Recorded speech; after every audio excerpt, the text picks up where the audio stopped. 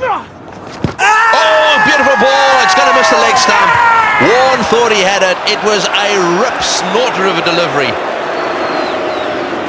Look at the dramatic turn here. Rips. That is savage outside the line of off stump, and no way Rudi Koertzen can predict that's going onto the stumps either.